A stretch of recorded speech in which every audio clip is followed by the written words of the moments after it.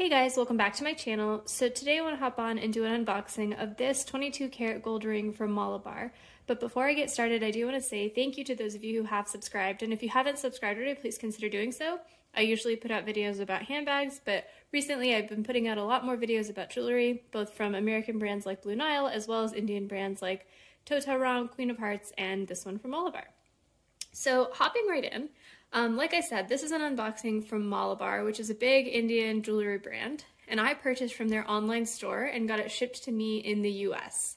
Um, I thought this would be a really helpful video to do, not only to show you what I bought and give you kind of a overview of the item and, and help you understand what it looks like in real life compared to the website, but also just to help you know what to expect if you're a US customer who's ordering from Malabar's online website.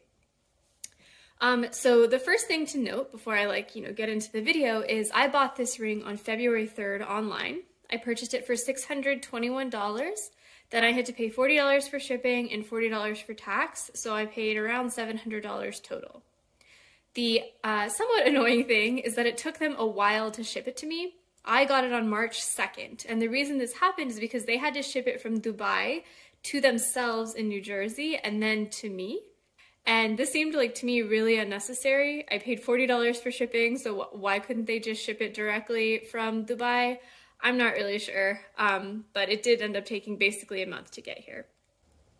So hopping in just a second, it is much later after I filmed this video, and I realized that part of the reason maybe they didn't ship this straight to me from Dubai is because they didn't want me to have to deal with customs, or maybe they got lower customs rates if they, you know, ship things in bulk from the Dubai store to themselves. Um, so just throwing that out there, like maybe it was to my benefit, but it would have been nice for them to explain that to me so I understood why it was taking so long.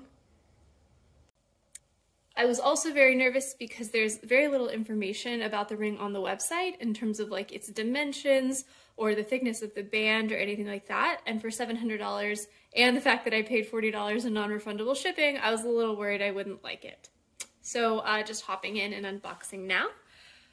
Uh, so it's just a simple little cardboard box with an M for Malabar, and this is what the ring looks like. So this is what is called a Navaratna ring.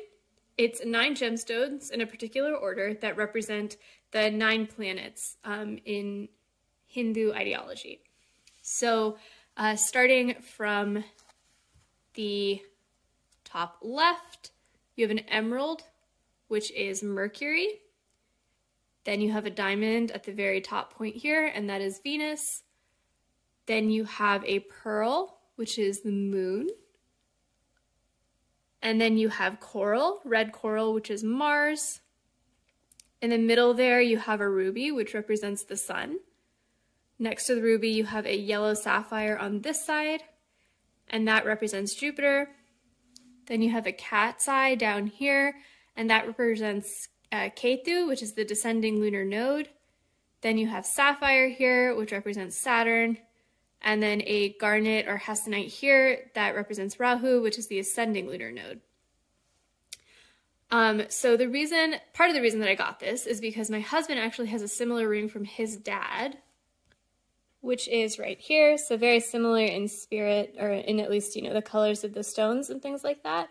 Um, and we thought it would be kind of nice, you know, to, to match our rings. Um, and obviously I did like kind of the symbolism of what the different gemstones mean. Um, his obviously looks much older because it was his dad's ring who, you know, he wore it for a long time. So, um, like I said, I was a little bit nervous about this ring because I was worried that it would be um, like thin or cheap looking for $700, but I'm actually pretty impressed with it. Um, I will say that the band of the ring is somewhat thin, so it's not like a comfort fit band or anything that you might expect from an American jeweler. Um, so I'll be careful like not to bend it just in case. Um, but I do like the the finish of the ring. So the two tone like finish of the ring where you have that more matte um, gold here and then like a shinier gold around the stones as well as on the band. I think that looks really nice. One thing I will say is, I don't know if you'll be able to see it here, um, but you can see a bit of like where they maybe like cut out the top star or something from when they soldered it.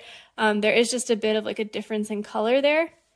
Um, so it's not the cleanest finish. Yeah, you might be able to see it better there. where you can see there's like a little indent in the matte part of the gold right there by that yellow sapphire. Um, that said, you can't really see it when you're looking from afar. It's just something I noticed as I was inspecting the ring when I first unboxed it. Um, in terms of other things about the ring, um, I think I was just really impressed with the quality of the gemstones. Like you can clearly tell that these are high quality gemstones. They look very clear. They're not cloudy. Um, the ruby is a little bit pink, but that's to be expected. That, you know, indicates to me that it's a real ruby and not just, um, you know, some CZ stone because, you know, pinker rubies are cheaper, which means that obviously they, you know, chose to use the cheaper ruby, but it's at least real. Um, and that's important to me because I think when you buy a lot of Indian jewelry, um, you know, from Indian jewelry stores, they do use CZ or, you know, fake uh, gems in their items. So it's nice to know that these are real. Um, and these are a part of Malabar's uh, gemstone collection. Um, so, you know, they really do focus on kind of getting good gemstones in that collection.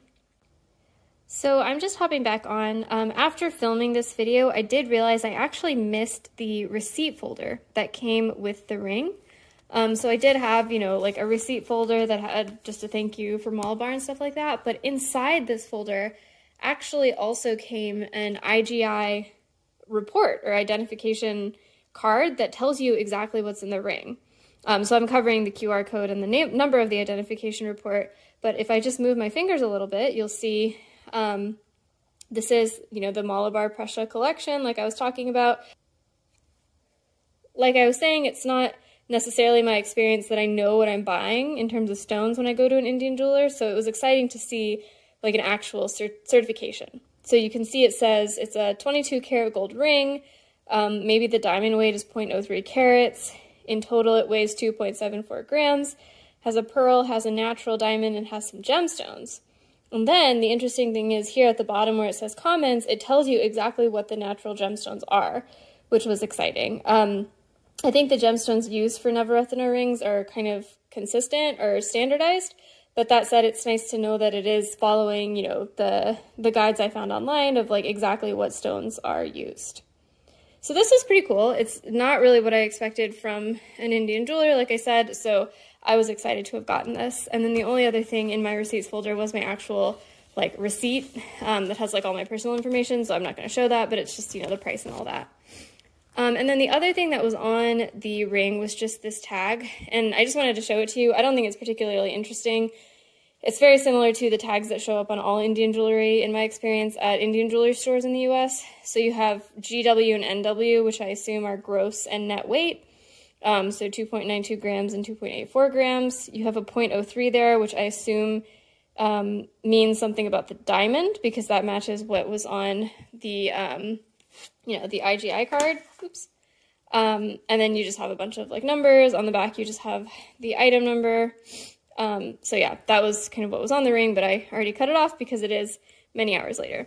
So yeah, that was an exciting find. Uh, so all in all, I'm pretty happy with this ring. Um, I think the shipping experience was underwhelming to say the least, but the ring itself is very pretty and I'm excited to wear it and match my husband's. Um, so yeah, thanks guys for watching. Let me know in the comments below if you have any questions, but otherwise I will see you next time. Bye.